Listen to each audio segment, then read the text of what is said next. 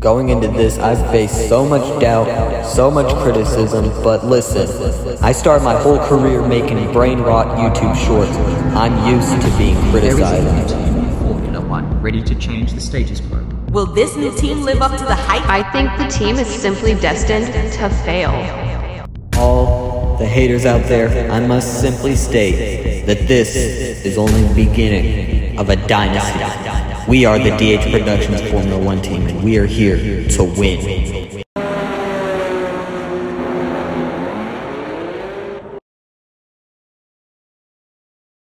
Welcome back to Miami and welcome to qualifying. Only raw speed will separate these drivers today, but the question is, who's got what it takes to get At? DH Productions, we want to succeed so much in Formula One, but ultimately, that can be an incredibly difficult task as a backmarker team with no paid manager.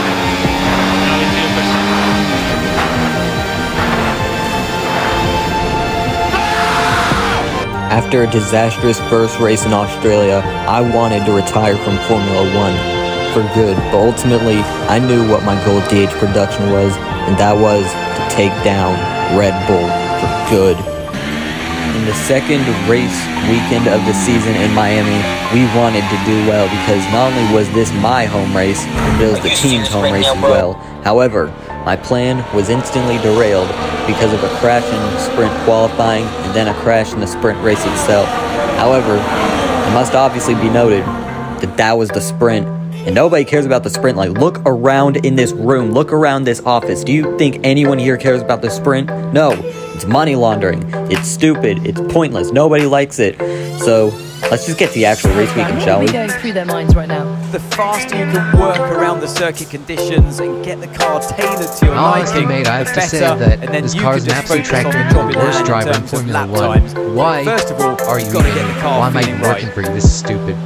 So, yeah, after what that now ex employee of mine said, I immediately fired that guy, but like, whatever, man. This season has obviously been a pretty disastrous one, but I feel like this race weekend we could actually mount a comeback.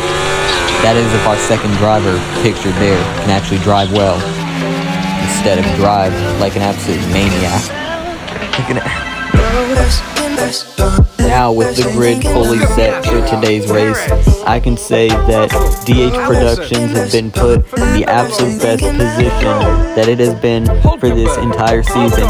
None of these teams, none of these drivers here are ready for what we're about to cook up with the type of advantage we got in qualifying. I qualified P19th, my best qualifying of the season. And I feel that the race is going to be even better. I'm going to gain a lot of ground. I might even win. Racing driver in this partnership. So tell us about this racing driver. Put us in their shoes. How are they going to be feeling? Well, you've got to be prepared, Crofty. Before you even step foot inti- inside the car, you've got to know, you've got to have a, a pre-race game plan. You've watched videos before you get into the car of previous races gone by. You know where you have to place your car if X, Y, or Z happens in front of you or behind you. So having this clear game plan is absolutely essential before you get in the car.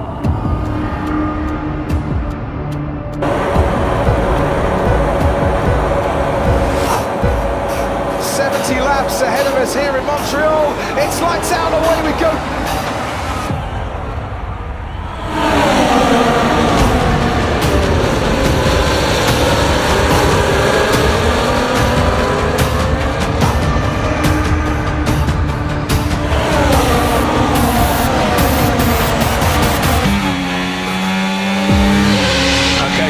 Next car behind you is Alonso.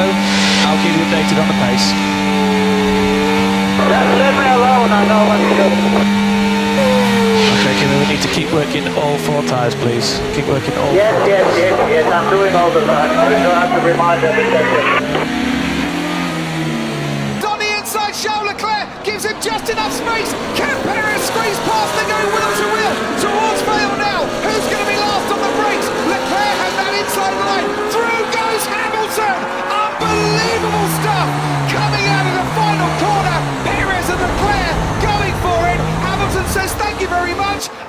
Another Time. All right, DH Productions, that will be a 10 second time penalty from the FIA for making fun of Lance Stroll there. 10 second penalty. Will be served in the pits. No, Mikey, no, no, Mikey, that was so not right. Did you just say Mikey or Michael there? Either way, that isn't my name. Whatever, we'll let the comment section decide that one. Honestly speaking, that might have been my lowest point in F1. Not even the crashes, but being the pits for so long, only to see the pit crew struggle to replace the front wing. I felt this is all my fault, you know.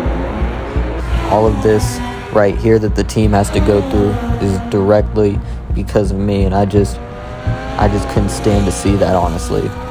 Ultimately, at DH Productions, our goal is to fight hard, fight hard to achieve as much as we can with how little we have week in, week out. Ultimately, I couldn't do that as I finished the race P21. I could say I put up a respectable effort, but ultimately, it just wasn't enough for us to succeed.